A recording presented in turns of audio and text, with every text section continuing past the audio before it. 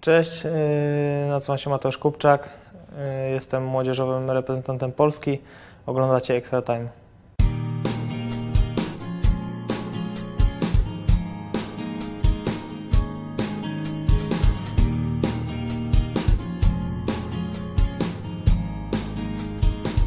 Na pierwszy trening yy, zabrała mnie babcia.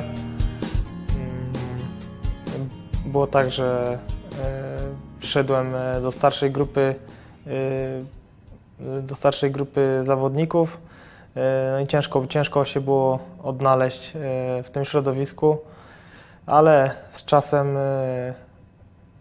z czasem dawałem sobie coraz lepiej radę i, i tak zaczęła się moja przygoda z piłką. Był to klub w Żywcu, był to klub Koszarawe Żywiec.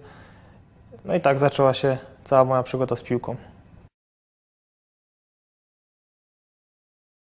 Yy, Na pewno yy, rywalizacja z- ze swoimi rówieś, rówie, rówieśnikami, chęć zwyciężania, bo to zdobywania bramek, bo to, to chyba najbardziej cieszy w tym sporcie. Mo- można takich idoli znaleźć y, wielu w piłce, y, ale moim jakby powiedzieć y, takim pierwszym kompletnym, jakby to powiedzieć, zawodnikiem i idolem Zinedine Zidane, który jakby to, który posiadał wiele wspaniałych cech i był naprawdę znakomitym piłkarzem. Potrafił świetnie e, ruletą wyprowadzić w pole e, czasem dwóch, trzech rywali i to na pewno e, to na pewno starałem się gdzieś tam w młodzieńczych latach naśladować go jak najlepiej i uczyć się tego driblingu. Nie miałem trudnych momentów, ponieważ nie przydarzyła mi się e, y, żadna kontuzja. Aczkolwiek w życiu piłkarza jest y, wiele takich y, momentów, gdzie, gdzie są trudne chwile, czy to po jakichś przegranych meczach, czy, czy w okresie, gdzie jest się gdzieś na drugim planie i, i trzeba sobie dawać z tym e, radę. Na pewno, na pewno rodzina i bliscy y, zawsze gdzieś tam pomagali y, z takiego kryzysu się wydostać. Pierwsze moje powołanie do reprezentacji y, było, był to mecz y, z Bośnią i Hercegowiną. Y, Grając w GKS-ie Tychy dostałem po, dowiedziałem się, że zostałem, zostałem powołany na ten mecz. No i odczucia byłem bardzo oczywiście zadowolony.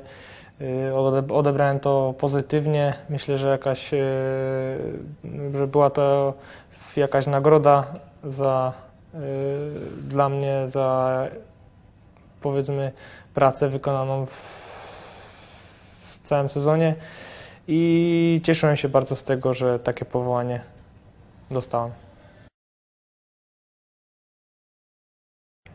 Na pewno idealnym trenerem dla y, młodych piłkarzy powinien być trener, który oczywiście posiada odpowiednią wiedzę, ale też y, dobre podejście do dzieci i na pewno musi być i cierpliwy i, i potrafiący zapanować nad y, grupą młodych zawodników.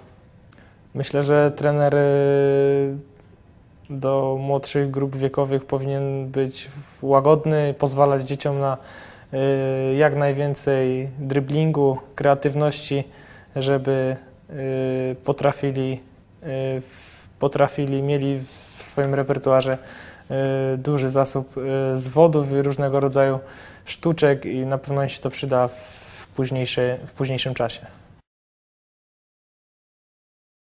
Moja rada dla Was, młodzi piłkarze, y, kochajcie, kochajcie piłkę, niech sprawia Wam przyjemność.